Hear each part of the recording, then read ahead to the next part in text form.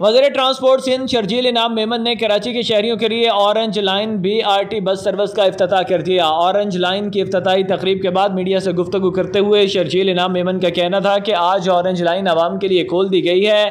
सैलाबी सूरत हाल की वजह से तकरीब को सादगी से मुनद किया गया। शर्जील मेमन ने मजीद कहा कि ऑरेंज लाइन बस सर्विस का किराया दस से बीस रुपये तक है और चार स्टेशन हैं।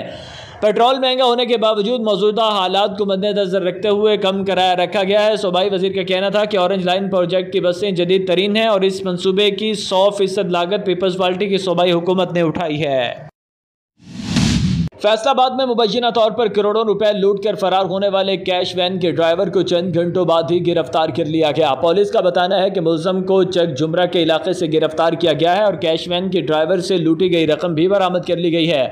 पुलिस के मुताबिक लूटी गई कैश वैन में चार करोड़ छियानवे लाख रुपए थे। मुलजम ने कार्रवाई उस वक्त की जब बाकी गार्ड्स पैसे बैंक ब्रांच में मुंतकिल करने के लिए अंदर गए हुए थे।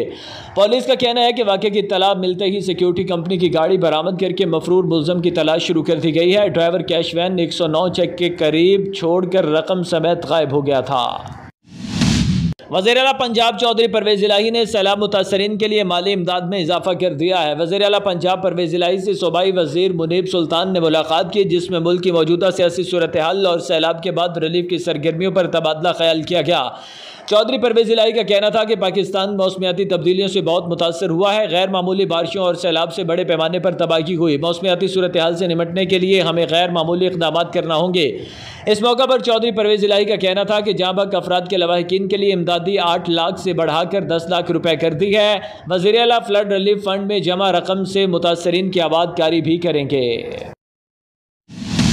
आटे की कीमत मुल्क की तारीख की बुलंद तरीन सतह पर पहुँच गई। कोयटा के शहरी सबसे ज़्यादा महँगा आटा खरीदने पर मजबूर हैं। आटे की फ़ी किलो कीमत कम अज़ कम एक सौ पंद्रह रुपये तक पहुँच गई है। इदारा शुमारियात के मुताबिक कोयटा में आटे की बीस किलो थैले की कम अज़ कम कीमत तेईस सौ रुपये और कराची में बाईस सौ रुपये तक है। एक हफ़्ते के दौरान कोयटा में आटे का बीस किलो का थैला मजीद तीन सौ अस्सी रुपये महँगा हो गया है। कोयटे के शहरी इस्लामाबाद, पिशावर, लाहौर, रावलपिंडी के मुकाबले में 20 किलो आटे का थैला तेरह सौ बीस रुपये तक महँगा खरीदने पर मजबूर हैं। मुस्लिम लीग काफ के पंजाब असम्बली में निसफ या उससे जायद अरकान के चौधरी शुजात हुसैन के साथ रवाबित की इतलात हैं। जिम्मेदार जराइक ने बताया कि वफाकी हुकूमत का फोकस सैलाब जदगान की फौरी बहाली पर है, जबकि हुक्मरान इतिहाद में दूसरी तरजीह के तौर पर पंजाब में आइनी तरीके से हुकूमती तब्दीली के लिए हमत अमली तय की जा रही है। जराए का बताना है कि चौधरी शुजात के साथ रबता करने वाले मुस्लिम लीग काफ अरकान ने उनके हर फैसले को तस्लीम करने का इंदिया दिया है। हुक्मरान इतिहाद सैलाब जदगान के लिए इकदाम पर वजी अजम और वजी खारजा की कारकर्दगी से मुतमिन है, जबकि नवाज़ शरीफ के आलमी बरदरी से नतीजा खैज रबतों पर बिलावल भुट्टो जरदारी ने भी तारीफ़ की है।